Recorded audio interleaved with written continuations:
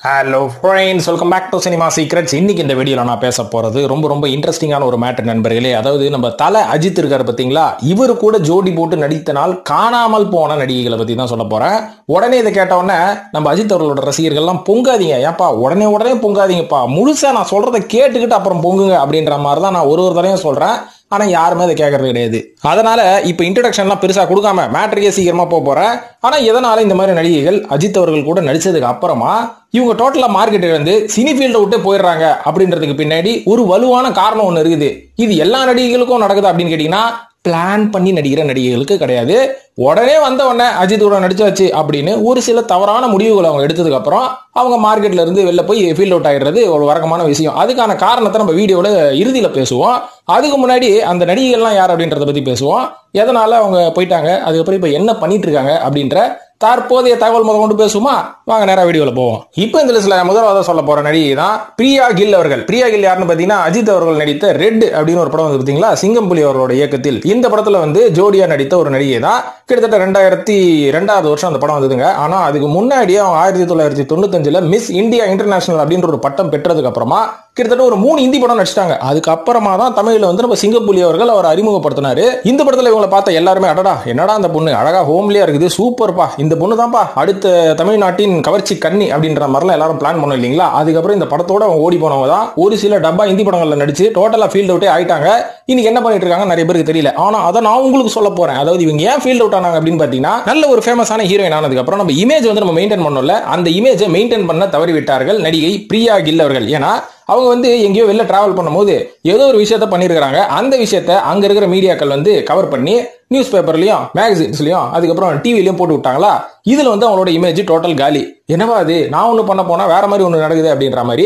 இது மட்டும் இல்லாம ஒரு சில படங்களுக்கு வந்து இவங்க அப்ரோச் பண்ணிருக்காங்க. பண்ணும்போது என்ன சொல்லிருக்காங்க? இங்க பாருங்க. ஃபுல் அண்ட் ஃபுல் வந்து இந்த படம் வந்து ஹோம்லியா இருக்காது. கொஞ்சம் ரொமான்டிக் காட்சிகள்லாம் இருக்கும். கொஞ்சம் ஜாலியா இன்டிமேசி சீன்லாம் இருக்கும். இதெல்லாம் நீங்க நடிக்கணும்னதுக்கு நோ நோ நோ நான் இப்போ ஒரு பெரிய ஹீரோயின் அந்த மாதிரிலாம் நடிக்க மாட்டேன் அப்படின்னு வர ப்ரொடியூசர்களாலும் துரத்தி அடிச்சுக்கிறாங்க இந்த மாதிரி வந்தவங்களெல்லாம் துரத்தி அடிச்சதுக்கப்புறம் நம்ம கிட்ட நல்ல ப்ராஜெக்ட் வரும் வரும் வரும் வெயிட் பண்ணவங்களுக்கு எந்த ப்ராஜெக்ட்டுமே வராம போச்சு. அதனால இனிமேல் நம்மளுக்கு ஆக்டிங் சுத்தமாக வேலைக்கு ஆகாது. அதனால நம்மளே நம்ம வாயால் கெடுத்துக்கிட்டோம். ஓகேப்பா ரைட்டு நம்ம வந்து நம்ம வேலையை பார்ப்போம். என்ன வேலை? வழக்கம் போல ஏதாவது ஒரு தொழிலதிபரை கல்யாணம் பண்ணி வெளிநாட்டில் போய் செட்டில் ஆகுறது அப்படின்ற மாதிரி. அது மாதிரி அவன் ஒரு தொழிலதிபரை கல்யாணம் பண்ணி டென்மார்க்கில் போய் செட்டில் ஆகிட்டு இப்போ அங்கே ஏதோ ஒரு பிஸ்னஸ் பண்ணுறாங்களா பாவம் எவ்வளவு பெரிய ஹீரோயினா வர வேண்டியவங்க இந்த சின்ன தவறுனால எல்லாத்தையும் கோட்டை விட்டாங்க. இரண்டாவதா சொல்ல போற நடிகை நம்ம அஜித் அவர்கள் கூட நடித்த காதல் மன்னன் அப்படின்ற ஒரு படத்தில் நடிச்சாங்க பாத்தீங்களா? மானு அப்படின்ற ஒரு நடிகை தான். எவ்வளவு பெரிய வாய்ப்புங்க அஜித் அவர்கள் அன்னைக்கே வந்து ஒரு மிகப்பெரிய வளர்ந்து வரும் நடிகராக இருந்தார். சரண் அவர்கள் தொடர்ந்து ஹிட் படம் கொடுத்துட்டு இருந்தாரு. அதுக்கப்புறம் விவேக் எம் எஸ் விஸ்வநாதன் அப்படின்ற மாதிரி மிகப்பெரிய காஸ்ட் அண்ட் க்ரூவில் ஒரு படம். இந்த படத்தில் ஒரு புதுமுகத்துக்கு வாய்ப்பு கிடைக்குது அப்படின்றது ஒரு சர்வசாதாரணமான விஷயமே கிடையாது. ஆனால் இவங்களுக்கு எப்படி வாய்ப்பு கிடைச்சதுன்னு பார்த்தீங்கன்னா சரண் அவர்கள் இந்த படத்துக்கு ஹீரோயின் தேடிட்டு இருக்கும்போது எந்த பொண்ணுமே செட் ஆகலையா அப்போ நம்ம விவேக் அவர்கள் ஒரு பரதநாட்டியம் ஷோக்கு போயிருக்கிறாரு. அந்த ஷோல இந்த பொண்ணு டான்ஸ் ஆடுறத பார்த்துட்டு இவங்க கரெக்டா இருப்பாங்கன்னு சொல்லி விவேக் அவர்கள் நடிகர் விவேக் அவர்கள் தான் சரண் கிட்ட கொண்டு போய் மானு அறிமுகப்படுத்திருக்காரு இதுக்கப்புறம் விவேக் அவர்கள் எவ்வளவு பெரிய சீனியர் ஆர்டிஸ்ட் அவர் ஒருத்தரை ரெக்கமெண்ட் பண்றாருன்னா கரெக்டா இருக்கும்னு சொல்லி சரண் அவர்களும் அந்த பொண்ணை எப்படியோ கஷ்டப்பட்டு நடிக்க வச்சு அந்த படத்தை வந்து ஒரு மிகப்பெரிய வெற்றி படம். அந்த காலகட்டத்தில் வந்து காதல் மன்னன் அப்படின்னா அஜித் அவர்களுக்கு எவ்வளவு பெரிய டேர்னிங் பாயிண்டோ அதே மாதிரி இந்த திலோத்தமான்ற கேரக்டர் யாருப்பா அந்த பொண்ணு? இந்த பொண்ணு தமிழ் சினிமாக்கு ஒரு ரவுண்டு வரப்போகுது அப்படின்ற மாதிரி எல்லாம் எதிர்பார்த்தாங்க. ஆனா வாய்ப்பு ஈஸியா கிடைச்சனால இந்த வாய்ப்போட மதிப்பும் அதுக்கப்புறம் இந்த வாய்ப்போட அந்த வெயிட்டேஜும் உங்களுக்கு சரியா தெரியல. ஏன்னா இந்த படம் நடிச்சதுக்கு அப்புறம் வேற எந்த படத்துலயும் பெருசா கமிட் ஆகல. இறங்கி வேலை செஞ்சு நம்மளுக்கு இப்பேற்பட்ட வாய்ப்பு கொடுத்துருக்காரு கடவுள். இதை பிடிச்சி நம்ம அடுத்தது தமிழ் சினிமால பெரிய லெவலில் சாதிக்கணும் அப்படின்ற ஒரு விஷயம் வந்து அவங்க மைண்ட்ல தோணுச்சோ இல்லையோ தெரியல. ஆனா இந்த படத்துக்கு அக்செப்ட் பண்றதுக்கு இந்த படத்தோட ப்ராஜெக்ட் அக்செப்ட் பண்றதுக்கு ஆறு மாசம் எடுத்துக்கிட்டாங்களாம். சரணும் அஜித்தும் அவ்வளவு நாள் வெயிட் பண்ணிருக்காங்க. இந்த ஒரு கேரக்டர் பண்ற இந்த பொண்ணுக்காக. அதுக்கப்புறம் அந்த வாய்ப்பு வந்து தக்க வைக்கல. அடுத்தது படங்கள் எதுவும் நடிக்காம சிங்கப்பூர்ல பேஸ்டு ஒரு பிசினஸ் மேனுங்க அவரை கல்யாணம் பண்ணி சிங்கப்பூர்ல செட்டில் ஆயிட்டாங்க. இப்போ என்ன பண்ணிட்டு இருக்காங்க? ஐயோ அன்னைக்கு தவற விட்ட வாய்ப்பு. நம்ம இன்னிதான்ப்பா அதை பத்தி புரிஞ்சுக்கணும். அதனால சினிமாக்குள்ள மறுபடியும் வரணும்னு அப்படி கொஞ்சம் கஷ்டப்பட்டு ஒரு படத்துல வந்து நடிச்சாங்க கிட்டத்தட்ட ஒரு இருபது வருஷத்துக்கு அப்புறம். அது என்னன்னு பாத்தீங்கன்னா என்ன சத்தம் இந்த நேரம் அப்படின்ற படம். அந்த படம் எந்த அளவுக்கு ஓடிச்சு அப்படின்ற மாதிரிலாம் தெரியல. ஆனா இந்த படத்தோட வாய்ப்பு எப்படி கிடைச்சது அப்படின்றதுக்கு பின்னாடி ஒரு சுவாரஸ்யமான ஒரு தகவல் இருக்கு. என்னன்னு பாத்தீங்கன்னா அவங்க சிங்கப்பூர்ல செட்டில் ஆனதுக்கு அப்புறம் ரஜினி அவர்கள் ட்ரீட்மெண்ட்டுக்காக சிங்கப்பூர் வந்துட்டார் இல்லைங்களா? கொஞ்சம் உயிரெல்லாம் போற அளவுக்கு போய் பழச்சு வந்தாரு. அந்த டைம்ல ரஜினி அவர்களுக்கு நெருக்கமான ஒரு ப்ரொடியூசர் வந்திருக்காரு அவங்க வந்து மானு அவர்களுக்கும் ஒரு நல்ல நண்பர் அப்படின்ற மாதிரி சொல்லப்படுது. சோ ரஜினி அவர்கள் ட்ரீட்மெண்ட்டுக்கு வராருமா? மானு கொஞ்சம் கூட இருந்து கவனிச்சு அப்படின்ற மாதிரி மானுவை கவனிச்சுக்க சொல்லியிருக்காரு. அதுக்கப்புறம் ரஜினி அவர்களுக்கும் மாணவர்களுக்கும் ஒரு நல்ல ரிலேஷன்ஷிப் ஏற்பட்டு அதுக்கப்புறம் ரஜினி அவர்களோட ரெக்கமெண்டேஷன் பேரில் தான் அவங்க ரெண்டாவதா என்ன சத்தம் இந்த நேரம் அப்படின்ற ஒரு படம் நடிச்சதா சொல்லப்படுது. இந்த படம் நடிச்சதுக்கு அப்புறம் இவங்களுக்கு ஒரு கம்பேக் கிடைக்கும் அப்படின்னு பார்த்தாங்க. முன்னாடியே விட்டாச்சு. முன்னாடியே கோட்டை விட்டாச்சு ஒரு பெரிய வாய்ப்பை. அதுக்கப்புறம் எங்க இருந்து ரெண்டாவது வாய்ப்பெல்லாம் கிடைக்கிறது? அதனால மறுபடியும் தமிழ் சினிமாவில் அவங்களால பெரிய லெவலில் என்ட்ரி கொடுக்க முடியல. இருந்தாலும் இன்னைக்கு சிங்கப்பூர்ல சின்ன சின்ன படங்கள் மற்றும் ஷார்ட் ஃபிலிமு அதுக்கப்புறம் ஒரு சில ஃபீச்சர் ஃபிலிம்ஸ் எல்லாம் அவங்க நடிச்சிட்டு இருக்காங்க அப்படின்ற மாதிரி சொல்லப்படுது. அதனால தான் கிடைக்கிற ஆப்பர்ச்சுனிட்டியை கிராப் பண்ணி பிடிச்சிக்கிட்டு மேலே ஏறிடணும். எனக்கு வந்துகிட்டே இருக்கும். எனக்கு இன்ட்ரெஸ்ட் இல்லை அப்படின்னு சொன்னீங்கன்னா கிடைச்ச ஆப்பர்ச்சுனிட்டி மறுபடியும் கிடைக்காதுப்பா. மூன்றாவதா நடிகை பார்வதி ஓமன குட்டன் அப்படின்றவங்க தான். இவங்க கூட பாத்தீங்கன்னா அஜித் கூட நடிக்கிறது எவ்வளவு பெரிய விஷயங்க. ஏன்னா அவர் கூட இவங்க எந்த படம் நடிச்சாங்க? பில்லா டூ அப்படின்ற ஒரு படம். அதுக்கு முன்னாடியே இவங்க வந்து மிஸ் இந்தியா வேர்ல்டு அதுக்கப்புறம் மிஸ் வேர்ல்டுல ரன்னர் ஆனாங்க. மிஸ் வேர்ல்டு ஏஷியால இவங்க வின் பண்ணாங்க அப்படின்ற மாதிரி ஏகப்பட்ட பட்டங்கள் அவங்களுக்கு கிடைச்சது. இது எல்லாத்துக்கும் காரணம் அவங்களோட ஒரு நல்ல ஆட்டிடியூட் மற்றும் அவங்களின் அழகு காரணமாக ஆனா சினிமால அழகும் ஆட்டிடியூடும் இருந்தா ஜெயிக்கலாமா அப்படின்னு கேட்டீங்கன்னா நடிப்பு திறமை இருக்கணுங்க. அது இருந்தா தானே ஜெயிக்க முடியும். ஆனா இந்த மாதிரி பட்டங்கள்லாம் வென்றதுக்கு அப்புறம் இவங்களுக்கு ஆப்வியஸ்லி மும்பைல இருந்து நிறைய பட வாய்ப்புகள்லாம் கிடைச்சது. யுனைடெட் சிக்ஸ் அப்படின்ற ஒரு பாலிவுட் படம் நடிச்சாங்க. அதுக்கப்புறம் ரெண்டாயிரத்தி பதினெட்டு பதினெட்டா? சாரி ரெண்டாயிரத்தி பன்னெண்டுல தான் பில்லா படத்துல உங்களுக்கு வாய்ப்பு கிடைச்சது. அதுவும் அஜித் கூட ஜோடி போடுற வாய்ப்புன்றது யாருக்காவது கிடைக்குங்களாக ஆனா இவங்களை தேடி வந்தது வாய்ப்பு. அந்த படத்துல நடிச்சாங்க. அந்த படம் வந்து விமர்சன ரீதியா வசூல் ரீதியா கொஞ்சம் தோல்வி அடைஞ்சாலும் அந்த படம் எனக்கு ரொம்ப பிடிச்ச படம். நல்லா இருக்கும். நல்லா சூப்பரா ஒரு ஹாலிவுட் படமா இருக்கும் இல்லைங்களா? இந்த படத்தில் நடிச்சதுக்கு அப்புறம் என்ன பண்ணணும்? அந்த படத்தில் உங்களுக்கு நடிக்கிறதுக்கான ஸ்கோப்பு பெருசாகவே இல்லை. அதுக்கப்புறம் நடிப்பை கொஞ்சம் ட்ரை பண்ணி கத்துக்கிட்டு நிறைய சேலஞ்சிங்கான படம் எடுத்து நடிச்சிருந்தீங்கன்னா இன்னைக்கு நீங்க ஒரு முன்னணி நடிகை. ஆனா இவங்க என்ன பண்ணிட்டாங்க? இந்திய சினிமாவில் நடிக்கிறதுக்கு திறமை தேவையில்ல அழகு இருந்தா போதும் அப்படின்ற ஒரு ராங் ரூட்டை பிடிச்சி அவங்களுக்கு வர படங்களை மட்டும் நடிச்சுக்கிட்டு இவங்க எந்த படத்தையும் அப்ரோச் பண்றது கிடையாது. நடிக்கிற படத்துல இவங்களுக்கான ஒரு வெயிட்டேஜ் எதுவுமே இல்லாதனால இவங்களுக்கு தொடர்ந்து படம் வாய்ப்பு வருது நின்று போனனால இப்போ என்ன பண்ணிட்டு இருக்காங்க தெரியுங்களா? மறுபடியும் மாடலிங் தொழில போயிட்டு ரேம்ப் வாக் பண்ணுகிறாங்க. பாருங்க ஹீரோயினா எவ்வளவு பெரிய வாய்ப்பு கிடைச்சு அதுக்கப்புறம் நம்ம திறமை வளர்த்துக்கலன்னா மறுபடியும் நம்ம இப்படி தான் போனோம் ஆட் ஃபிலிம்ஸ்லாம் பண்ணுறாங்களாம்ப்பா நான்காவது நடிகை ப்ரூனா அப்துல்லா அப்படின்றவங்க தான் அவங்க வந்து பேசிக்கலி வந்து பிரேசிலில் பிறந்து வளர்ந்தவர்கள் அம்மா வந்து சிரியா அப்படின்றாங்க அப்பா வந்து இட்டாலியன். ஸோ இந்த மாதிரி ஒரு கொலாபரேஷனில் பிறந்த ஒரு பொண்ணு தான் ஸோ இவங்க வந்து இப்போ என்ன பண்ணிட்டு இருக்காங்க அப்படின்னு பார்த்தீங்கன்னா கல்யாணம் ஆகி செட்டில் ஆகி அவங்களுக்கு ஒரு குழந்தை இருக்குது. என்னப்பா ஸ்ட்ரெயிட்டாக மேட்ரிக்கே வந்துட்டேன் நடுவில் இடைப்பட்ட காலத்தில் என்ன நடந்ததுன்னா பாலிவுட்ல ரெண்டு மூணு படம் நடிச்சாங்க எல்லாமே பெரிய படம் தான். ஐட்டம் கேர்ள் டான்ஸ்லாம் ஆடிட்டு இருப்பாங்க. பில்லா டூல அவங்களுக்கு ஒரு வெயிட்டேஜ் கேரக்டர் இல்லைனாலும் ஒரு நெகட்டிவ் கேரக்டர் தான். வந்த வரைக்கும் லாபம் அப்படின்ற மாதிரி நடிச்சாங்க. அதுக்கப்புறம் மற்ற நடிகைகள் மாதிரி புத்திசாலித்தனமா சீக்கிரமா கல்யாணம் ஆகி செட்டில் ஆயிடணும். இல்லைன்னா இந்த இண்டஸ்ட்ரி நம்மள காலி பண்றோன்னு கல்யாணம் ஆகி செட்டில் ஆயிட்டாங்க. இது ஒரு நல்ல முடிவு தான் ஐந்தாவது நடிகை ரதி ஆறுமுகம் அவர்கள். நைன்டி ஸ்கிட்ஸ் எல்லாருக்கும் உங்களுக்கு கண்டிப்பாக தெரிஞ்சிருக்கும். அந்த காலகட்டத்தில் நம்ம பார்த்தோம் இல்லைங்களா? அடிதடி படத்தில் வருமே உம்மா உமாமா அப்படின்ற ஒரு பாட்டு. வேற லெவல் ஆடி இருப்பாங்கல்ல? இவங்கள சொல்லல. சத்யராஜ் வேற லெவலில் ஆடி இருப்பாரு. இவங்க நம்ம எங்க பார்த்தோம்? இவங்கள ஓவர்லாப் பண்ணி ஃபுல் ஃப்ரேம்ல இவரு தான் இருப்பாரு சத்யராஜ் தான். அதனால பின்னாடி குட்டியோட தௌலண்டா ஒரு பொண்ணு ஆண் இருக்கும்ல? அந்த பொண்ணு தான் ரதி ஆறுமுகம். டூ கே கிட்ஸ்க்குலாம் சொல்லிக்கிறேன். பேசிக்கலி இந்த பொண்ணு வந்து தமிழ் பெண்ணாக இருந்தாலும் பெங்களூர் தான் பிறந்து வளர்ந்து அங்கேயே டென்டிஸ்ட் படிச்சு ஒரு டாக்டரா போக வேண்டியது ஒரு டென்டல் டாக்டரா போக வேண்டிய பொண்ணு. ஓகேமா அழகாகிற நீ மாடலிங் வாங்க அப்படின்னு எவனோ ஒருத்தன் கெடுத்து விட்டான் மாடலிங்ல வந்து இறங்குச்சு. அதுக்கப்புறம் வந்து ஒரு சில படங்கள்லாம் பண்ணாங்க.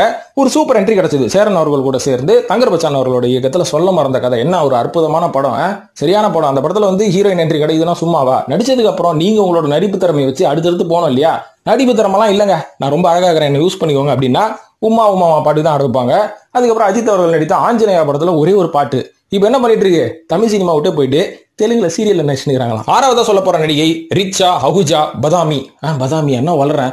பதமை பதமி. ஆ பதமிங்க. ரிச்சா அஹுஜா பதமி. கரெக்டா ஸோ இந்த நடிகை மற்ற நடிகைகளோட கம்பேர் பண்ணா அழகாகவும் இருப்பாங்க. பயங்கர திறமையான ஒரு நடிகை. இருந்தாலும் இவங்க ஏன் கோட்டை விட்டாங்க அப்படின்றது பின்னாடி இன்னொரு காரணம் இருக்கு. அது என்னன்னு சொல்றேன். பேசிக்கலி இவங்க வந்து டெல்லியில பிறந்து வளர்ந்த பெண்ணு.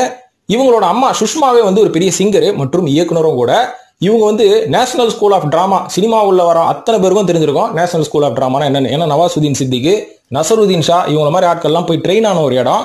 நம்ம தமிழ் சினிமாவில் நிறைய பேர் அந்த இடத்துல போய் ட்ரெயின் ஆயிருக்காங்க. ஏன் ஜெயம் ரவி ட்ரெயின் ஆயிருக்காரு நினைக்கிறேன். கரெக்டாக தெரியல. ஸோ இந்த நேஷனல் ஸ்கூல் ஆஃப் ட்ராமாவோட ஃபவுண்டர் இருக்கார் பார்த்தீங்களா இப்ராஹிம் இவருக்கு கீழே ட்ரெயின் ஆகிறாங்க. அப்படின்னா இவங்க நடிப்பில் எந்த அளவுக்கு புலியாக இருந்திருப்பாங்க? ஸோ இந்த மாதிரி நடிப்பெல்லாம் கற்றுக்கிட்டு அதுக்கப்புறம் ஒரு சேனலில் வந்து விஜேவா இருந்து சிரஞ்சீவி நாகார்ஜுனா போன்ற பெரிய பெரிய ஆர்டிஸ்ட் எல்லாம் வந்து இவங்க ஹிந்திலேயே இன்டர்வியூ பண்றது. அந்த மாதிரி இருந்து அதுக்கப்புறம் ஹிந்தி சீரியலில் நடிச்சு அதுக்கப்புறம் தமிழ் சினிமாவில் போனால் தான் நம்மளுக்கு வாய்ப்பு அப்படின்ற மாதிரி தமிழ் சினிமாவில் இறங்கி சீரியல் ஆரம்பிச்சாங்கப்பா. சுழல் அப்படின்ற சீரியல் ஆரம்பிச்சாங்க. அதுக்கப்புறம் இவங்களோட திறமையை பார்த்துட்டு மணிரத்னம் அவர்களே உன்னை வச்சு ஒரு ப்ராஜெக்ட் ஸ்டார்ட் பண்ணுற பார் அப்படின்ற மாதிரி ஸ்டார்ட் பண்ணாரு. என்னைக்கு வாய வச்சாரோ தெரில அந்த ப்ராஜெக்ட் ஸ்டார்ட்டே ஆகல. இதுக்கப்புறம் இவங்களோட பொறுமையை பார்த்துட்டு இருந்த இவங்களோட தாயார் என்ன பண்ணாங்க? சுஷ்மா சொன்னல நானே ஒரு படம் டைரக்ட் பண்றேமா அஜித்தை ஹீரோவை போட்டு நீ தான் ஹீரோயின் இந்த படத்தில் நடி உன் திறமையை காட்டு. அடுத்தது நீ தான் வேற லெவல் அப்படின்ற மாதிரி ஒரு படத்தை எடுத்தாங்க. அந்த படத்தின் பெயர் தான் உயிரோட உயிராக. ஆயிரத்தி தொள்ளாயிரத்தி தொண்ணூத்தி எட்டுல வந்த படம். இந்த படத்தை எடுத்தாங்க. இந்த படமும் ரிலீஸ் ஆச்சு. ஆனா இவங்களோட நடிப்பு திறமை என்னதான் காமிச்சோம் படத்தோட கதைக்களம் வந்து ரொம்ப நல்லா இல்லை அப்படின்றனால இந்த படம் வந்து சரியாவே ஓடல.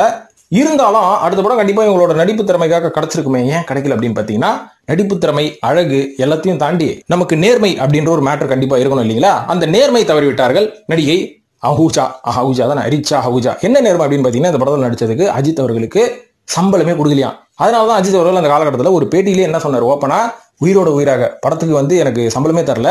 அதனால உயிரோட உயிராக டேஷோட டேஷாக போயிடும் அப்படின்ற மாதிரி அஜித்தே அன்னைக்கு சாபம் விட்டாரு அப்படின்ற மாதிரி அன்னைக்கு இருக்கிற மீடியாலாம் பரபரப்பாக பேசப்பட்டுச்சு.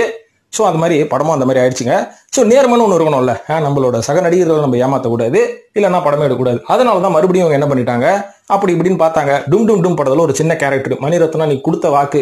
என் டைரக்ஷன்ல தான் அழியும் முடியல. என் ப்ரொடக்ஷன்லேயாச்சும் நடி அப்படின்ற மாதிரி கூட்டின்னு போய் கொடுத்த வாய்ப்பு தான். இப்போ என்ன பண்ணிட்டு இருக்காங்க? மறுபடியும் டெல்லிக்கு போயிட்டாங்களாம். ஏழாவதா சொல்ல போறது நடிகை மகேஸ்வரி அவர்கள். உல்லாசம் படத்துல இவங்களை பார்த்துருப்போம். என்ன உல்லாசமா இருப்பாங்க தெரியுமா அந்த படத்துல? விக்ரம் கூடயும் அஜித் கூடயும். இவங்க ரெண்டு பேரும் இன்னைக்கு இவ்வளவு பெரிய நடிகர்களாவானோ? அன்னைக்கு கண்டிப்பா மகேஸ்வரி அவர்கள் எதிர்பார்த்திருக்க கூட மாட்டாங்க. ஏன் நம்மளே எதிர்பார்க்கல? சோ அந்த அளவுக்கு இன்னைக்கு பெரிய பில்லர்ஸ் ஆஃப் தமிழ் சினிமா மாதிரி ஆயிட்டாங்க இல்லைங்களா? அது மட்டும் இல்ல இந்த படத்தை இயக்கின ஜேடி ஜெரி இன்னைக்கு நம்ம லெஜன் சரவணாவை வச்சு படம் எடுக்கிற அளவுக்கு நம்மளோட திறமை வந்து அந்த அளவுக்கு தரையில வச்சு தேய்க்கப்படும் அப்படின்ற மாதிரி அவங்களும் நினைச்சாங்களா நம்மளுக்கு தெரியல. சரி ஓகே மகேஸ்வரி மேட்டருக்கு வருவோம். அதாவது மகேஸ்வரி அவர்கள் கிட்டத்தட்ட அவங்களோட பதினேழாவது வயசுல ஆயிரத்தி தொள்ளாயிரத்தி தொண்ணூத்தி நாலாவது வருஷம் கருத்தம்மா அப்படின்னு ஒரு படத்தில் நடிக்க ஆரம்பிச்சாங்க. அந்த படத்துல வந்து சென்மேற்கு ஆ, தென்மேற்கு பருவக்காட்டுன்னு ஒரு பாட்டு வரும் இல்லைங்களா? அந்த பாட்டு வந்து நீ பயங்கர ஹிட் இந்த பாட்டுல இந்த மழையில நெஞ்சினான்னு இந்த பொண்ணும் பெரிய ஹிட்டு இதுக்கப்புறம் பாத்தீங்கன்னா நிறைய பாலிவுட் படங்கள் வந்து இவங்களுக்கு வாய்ப்பு கிடைச்சது. அதாவது நான் என்ன சொல்றேன் தொண்ணூத்தி நாலுக்கு அப்புறம் இவங்க தமிழ்ல நடிகல ஏகப்பட்ட தெலுங்கு படம் மலையாள படம் கன்னடம்னு ஒரு ரவுண்ட் வந்துட்டாங்க அதுக்கப்புறம் போனால் போதுவா கழுத ஒரு தமிழ் படத்தை நடித்து தொலைவோம் அப்படின்னு சொல்லி தொண்ணூற்றி ஏழில் அவங்க நடித்த படம் தான் உல்லாசம் அப்படின்ற படம். இந்த படம் கூட உங்களுக்கு கதை வயசு இந்த படம் ரொம்ப நல்லா இருக்கும். ஆனா அன்னைக்கு வந்து இந்த படம் வந்து மிகப்பெரிய வெற்றி படமாக அமையல. ஏன்னா இன்றைக்கி அஜித்தும் வளர்ந்து வர நடிகர் விக்ரம் அவர்களும் வளர்ந்து வர நடிகர். மகேஸ்வரியாக கொஞ்சம் பேர் போய் அந்த படத்தை பார்த்தாங்க. அப்புறம் கார்த்திக் ராஜா மியூசிக் இன்னி வரைக்கும் கேட்கலாம். சூப்பராக இருக்கும் பாட்டெல்லாம் ஸோ அதுக்காக கொஞ்சம் பேர் படம் போய் பார்த்து அந்த படம் வந்து வெளில பட்டி தொட்டி எங்கும் பேசப்பட்டதே தவிர வசூல் இருக்கு. அந்த படம் பெருசாக போல. அதுக்கப்புறம் ரெண்டாயிரமாவது வருஷம் இண்டஸ்ட்ரி விட்டு வெளில போயிட்டாங்கப்பா. போயிட்டு ரெண்டாயிரத்தி எட்டாவது வருஷம் ஜெயகிருஷ்ணா அப்படின்ற ஒரு சாஃப்ட்வேர் இன்ஜினியரை கல்யாணம் பண்ணி செட்டில் ஆயிட்டாங்க. இப்போ இவங்க என்ன பண்ணிட்டு இருக்காங்க அப்படின்னு பார்த்தீங்கன்னா தனியாக ஃபேஷன் டிசைனிங் கம்பெனி ஒன்று வச்சிருக்காங்களாம் அதாவது பெரிய ஸ்டுடியோ ஒன்று வச்சு அதில் வந்து நிறைய பேருக்கு ட்ரெஸ் எல்லாம் தச்சு கொடுத்து அவங்களோட கெரியர் அவங்க நல்லா தான் பார்த்துட்டு இருக்காங்க. இவ்வளவு ஏங்க இவங்களோட சொந்தக்கார ஆன்டி தான் நடிகை ஸ்ரீதேவி கூட. அவங்க கூட மகேஸ்வரி அவர்கள் ஓப்பன் பண்ண மகே ஐயப்பன் அப்படின்ற ஒரு ஸ்டோரை ஓப்பன் பண்ணி வைக்கப்போ வந்தாங்க. அப்பதான் தெரிஞ்சு இவங்க எல்லாம் சொந்தக்காரங்களான்னு. இருந்தாலும் மகேஸ்வரி ஏன் ஃபீல்ட் அவுட் ஆனாங்க அப்படின்னு பாத்தீங்கன்னா அது அவங்களோட சொந்த விருப்பம் தான் ஏன்னா அவங்க நல்ல பீக்கில் இருக்கும் போதே அவங்க ஒரு முடிவு எடுத்தாங்க. என்னன்னா இதுக்கு மேல நம்ம படங்கள் நடிக்க வேண்டாம். நம்ம கல்யாணம் பண்ணி செட்டில் ஆயிடலாமே? ஏன்னா படம் நடிச்சு போர் அடிச்சிருச்சு. சொந்தமா தொழில் பண்ணலான்னு. ஸோ ஒரு ஸ்மார்ட்டான முடிவு. அதனால மகேஸ்வரி அவர்களை இண்டஸ்ட்ரி வெளில துரத்துல அவங்களும் இண்டஸ்ட்ரி விட்டு வெளில போயிட்டாங்க. ஃபேமிலி லைஃப் தான் வேணும்னு. நல்ல டிசிஷன்ல எட்டாவதா சொல்ல போற நடிகை இவங்களெல்லாம் உங்களுக்கு ஞாபகம் இருக்குமா? என்னை தாளாட்ட வருவாளா அப்படின்னு அஜித் ஒரு படம் நடிச்சாரு. கிட்டத்தட்ட பத்து வருஷத்துக்கு அப்புறம் தான் அந்த படம் ரிலீஸ் ஆச்சு. அந்த படத்தில் நடித்தவங்க தான் நடிகை ரேஷ்மா அப்படின்றவங்க. அவங்க ஆயிரத்தி தொள்ளாயிரத்தி தொண்ணூத்தி ஆறுல கிழக்கு முகம் அப்படின்ற ஒரு படம் நடிச்சாங்க கார்த்திக் இது. அதுக்கப்புறம் முரளி கூட சேர்ந்து பூமணின்ற படம் நடிச்சாங்க. அதுக்கப்புறம் தொண்ணூத்தி ஆறுல தான் அஜித் அவர்கள் கூட சேர்ந்து இந்த எண்ணெய் தாளாட்ட வருவாளா? தலைப்பு வேற யார்தான் வச்ச. தலை வச்சுனுக்கிறாரு அப்படின்னு கேட்டீங்கன்னா அந்த காலத்துல எல்லாம் சகஜமா இருந்ததுப்பா. இப்பதான் முடிக்கிறீங்க எல்லாரும். ஆனா என்ன நேரமோ என்னன்னு தெரியல. இந்த படம் வந்து தொண்ணூத்தி ஆறுல எடுத்து முடிச்சு கிட்டத்தட்ட பல வருஷம் இந்த படம் ரிலீஸே ஆகல. அதுக்கப்புறம் ரெண்டாயிரத்தி மூணுல தான் இந்த படம் ரிலீஸ் ஆச்சு. ரிலீஸ் ஆன உடனே அதுதான் அவங்களோட கடைசி படம் அனௌன்ஸ் பண்ணிட்டு நடிகர் அம்சவர்தனை திருமணம் பண்ணி செட்டில் ஆயிட்டாங்க. ஃபீல்ட் அவுட்டே ஆயிட்டாங்க. இது என்ன காரணம் அப்படின்னு கேட்டீங்கன்னா அடுத்தடுத்து படம் வாய்ப்பு வரல. என்ன பண்றது? ஒன்பதாவது சொல்ல போற நடிகை யார் அப்படின்னு பாத்தீங்கன்னா எல்லாரும் பில்லான்னு ஒரு படம் பார்த்துருப்போம் இல்லைங்களா? அந்த படத்துல ஏற்கனவே அஜித் அவர்களுக்கு ரெண்டு ஹீரோயின் அதுக்கப்புறம் ஒரு பாட்டு ஒன்று வரும். அது என்னங்க பாட்டு? ஏதாவது செய் அப்படின்னு ஒரு பாட்டு வரல அந்த பாட்டில் வந்து ஒரு பொண்ணு ஆடி இருக்கும். ரொம்ப அழகாக இருக்குங்க முழு முழுன்னு இருக்கும் மெழுகு பொம்மை மாதிரி. அந்த பொண்ணோட பேர் தான் அசில் கீச் அப்படின்றவங்க. இவங்க யாருன்னு ரொம்ப நாளாக நம்மளும் தேடி இருப்போம். நானும் கொஞ்சம் கண்டுபிடிச்சேன். அதுக்கப்புறம் ஆட இவங்க இவங்களோட மனைவியா அப்படின்ற மாதிரி நம்மளுக்கு ஷாக் ஆயிடுச்சு. வேற யாரும் இல்லைங்க இவங்க. கிரிக்கெட் யுவராஜ் சிங் இருக்கார் பார்த்தீங்களா இவரோட மனைவி தானே இவங்க? ரெண்டாயிரத்தி பதினாறுலயும் ரெண்டு பேரும் திருமணம் ஆயிடுச்சு. இருந்தாலும் இந்த பொண்ணு ஏன் ஃபீல்ட் அவுட் ஆச்சு அப்படின்றதுக்கு பின்னாடி ஒரு பெரிய சோக கதை ஒன்று இருக்குது. பொண்ணு பார்க்கறதுக்கு நல்லா அழகாக இருக்குதுங்க. இருந்தாலும் எப்படியோ அப்படியே கஷ்டப்பட்டு கெரியரில் முன்னுக்கு வரணும்னு சினிமா உள்ள வந்துக்கிறாங்க. வந்து ஒரு சில படங்கள் நடிக்க ஆரம்பிச்சிருக்கிறாங்க. என்ன பண்ணுறது இருந்தாலும் அப்படி இப்படி கொஞ்சம் கஷ்டப்பட்டு இந்த பொண்ணு இன்ட்ரடியூஸ் ஆனது ஹாலிவுட் படத்தில் தான். அதுவும் ஹாரி பாட்டரோட சீரீஸில் வந்து இந்த பொண்ணு வந்து அறிமுகமாச்சு அப்படின்னு சொன்னால் உங்களுக்கு எவ்வளோ ஆச்சரியமா இருக்கும். சொல்லுங்க பார்ப்போம் ஹாரி பாட்டர்லேயே கிட்டத்தட்ட மூணு படம் அவங்க நடிச்சிட்டாங்க. கொஞ்சம் எக்ஸ்ட்ரா ரோல் தான் நடிச்சு. அதுக்கப்புறமா தான் ரெண்டாயிரத்தி ஏழாவது வருஷம் பில்லா படத்தில் இவங்களுக்கு ஒரு அறிமுகம் கிடச்சிது. அந்த படத்தில் ஒரு ஸ்ட்ராங்கான கேரக்டர்னு பார்த்தீங்கன்னா மேக்ஸிமம் இவங்க வந்து ஒரு ஐட்டம் காலாக தான் வந்திருப்பாங்க. ஒரு ஐட்டம் டான்ஸ்ல ஆடுறதுக்கு தான். சரி இதுக்கு அடுத்த படமாச்சும் நம்ம தெலுங்குல வந்து கிக்குன்னு ஒரு படம் வருது.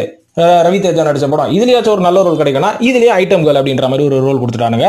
இதுக்கப்புறம் தொடர்ந்து பாத்தீங்கன்னா தெலுங்கு ஹிந்தி அதுக்கப்புறம் பஞ்சாபி எல்லா படத்துலயும் வந்து ஐட்டம் கேர்ள் இப்படியே விட்டா நம்மள ஐட்டம் ஆகிடுவானுங்க அதனால இந்த சினிமாவே வேணாம்னு சொல்லி இவங்க சினிமா விட்டு வெளில வந்து அதுக்கப்புறம் யுவராஜ் சிங்க டேட்டிங் பண்ணி கல்யாணம் பண்ணி செட்டில் ஆயிட்டு இன்னைக்கு இவங்களுக்கு ரெண்டு குழந்தைக்குது ஸோ சில சமயங்களில் சினிமா நம்மளை இப்படிலாம் கூட இக்கட்டான சூழ்நிலையில் தள்ளும். அதுக்கு தான் சினிமாவுள்ள வர அத்தனை பேருக்கும் சொல்கிறேன் நீங்கள் சினிமாவில் எப்போவுமே first impression is the best impression சொல்லுவாங்க. உள்ள நுழையும் போது எந்த கேரக்டரில் நுழையிறீங்களோ அதை வச்சு தான் நீங்கள் சினிமாவில் நீங்கள் ட்ராவல் பண்ணுற மாதிரி இருக்கும். அதனால நீங்க முத முதல்ல உள்ள போகும்போது சினிமாவில் எந்த ரோல்ல நீங்க நடிக்கணும்னு ஆசைப்பட்டு போறீங்களோ அதையே டைட்டா பிடிச்சிக்கோங்க. காசு வருதுன்னு சொல்லி கண்ட ரோல்ல நடிச்சீங்கன்னா உங்களுக்கு இப்படியே தான் யூஸ் பண்ணிட்டு போவோம் சினிமா. சோ நண்பர்களே ஒரு ஒன்பது பேரை சொன்ன பாத்தீங்களா? பத்தாவது உங்களோட சாய்ஸ்லேயே விடுறேன். நீங்க எந்த நடிகரை வந்து அஜித் அவர்கள் கூட நடித்து காணாமல் போனாங்க அப்படின்றத மறக்காம கமெண்ட்ல போடுங்க. மற்றும் நம்ம இன்ஸ்டாகிராமில் என்னை பற்றி என்னை பற்றின்றதோட இந்த சினிமா பற்றி ஏதாவது கேள்விகள் இருந்தால் இன்ஸ்டாகிராமை ஃபாலோ பண்ணி சேட்டில் வாங்க. நான் அதுக்கான பதில்களை நான் சொல்கிறேன் ஸோ அதை விட்டு கமெண்ட்டில் கழுவி கழுவி ஊற்றாதீங்க ஏன்னா நம்ம திருப்பி ஏதாவது பதில் சொல்லணும்னா கமெண்ட்டில் சொல்ல முடியாது. அதனால் சேட்டில் வாங்க. அங்கே வந்து பார்த்துக்கலாம் நம்ம. ஸோ அதுக்கப்புறம் நண்பர்கள் இதுக்கான ரீசன் என்ன? எதனால இந்த மாதிரி ஹீரோயின்கள்லாம் வந்து நிறைய பேர் ஃபீல்ட் அவுட் ஆயிடுறாங்க அப்படின்னு கேட்டீங்கன்னா அதுக்கான ரீசன் இந்த வீடியோ சொல்லும் போதே நடுவில் நடுவில் சில காரணங்களை சொன்ன பார்த்தீங்களா? இது எல்லாமே சேர்த்து வச்சு பாருங்க இதுதான் ரீசன் அது என்னப்பா ரீசனு பட்டுன்னு ஜகா வாங்குற அப்படின்னு கேட்டீங்கன்னா சொல்ற நண்பர்களே அதாவது ஒரு நடிகை ஆகணும். நடிகர் ஆகணும் அப்படின்றதுக்கு பல விஷயங்கள் பல நெருடல்களெல்லாம் நீங்க தாண்டி வரணும். ஆனால் ஒரு நடிகை ஆகணும் அப்படின்னா first impression is the best impression first உங்களோட அழகை தான் பார்ப்பாங்க. அழகை பொறுத்து உங்களுக்கு ஒரு என்ட்ரி கிடைக்கும். அந்த என்ட்ரியை நீங்கள் கப்புன்னு பிடிச்சிக்கிட்டு உங்களோட திறமையை வளர்த்துக்கிட்டு நீங்கள் தொடர்ந்து படம் நடிக்கணும். அதுக்கப்புறம் என்ட்ரி கிடச்சி உங்கள் திறமையை வச்சு நீங்கள் நிறைய படம் நடித்ததுக்கப்புறம் ஏகப்பட்ட பேர் உங்ககிட்ட வருவாங்க. அப்போது ஆணவத்தில் ஆடாமல் ஓகே இவங்க எல்லாருமே நம்ம சினிமாவில் நம்மள மாதிரி கெலிக்கணும் அப்படின்னு தானே வராங்க. இவங்களுக்கு நம்ம ஒத்துழைப்பு கொடுப்போம். எந்த ப்ரொடியூசராக இருந்தாலும் நம்ம கொஞ்சம் மேனேஜ் பண்ணி அராஜகம் பண்ணாமல் நம்ம ஒழுங்காக இருப்போம் அப்படின்ற மாதிரி அந்த ஒழுக்கத்தின் காரணமாக ஒழுக்கத்தின் பேரில் நம்ம டிசிப்ளினாகவும் இருக்கணும். அதுக்கப்புறம் நேர்மையாகவும் இருக்கணும். இது எல்லாமே நம்ம ஃபாலோ பண்ணோம்னா நம்ம ஒரு நடிகையாக ரொம்ப நாள் வளம் வரலாம். அதுக்கப்புறமும் நம்மளுக்கு ஃபீல்டில் ஒரு மரியாதை இருக்கும். இதுல நடுவில் நான் சொன்ன மூணு விஷயத்துல ஏதாவது ஒரு விஷயத்தை தவற விட்டா அவங்க ஃபீல்ட் அவுட் ஆகிறது மட்டும் கிடையாது. பல அவமானங்களை சந்தித்ததுக்கு அப்புறமா தான் ஃபீல்ட் அவுட்டே ஆவாங்க அப்படின்னு சொல்லிட்டு இந்த வீடியோ முடிச்சுக்கிற நண்பர்கள். இது பற்றிய கருத்துக்களை கமெண்ட் செக்ஷனில் போட்டு வழக்கம் போல சினிமா சீக்கிரத்தையும் சப்ஸ்கிரைப் பண்ணிட்டு ஃபாலோ பண்ணுங்க நண்பர்களே. நன்றி வணக்கம்.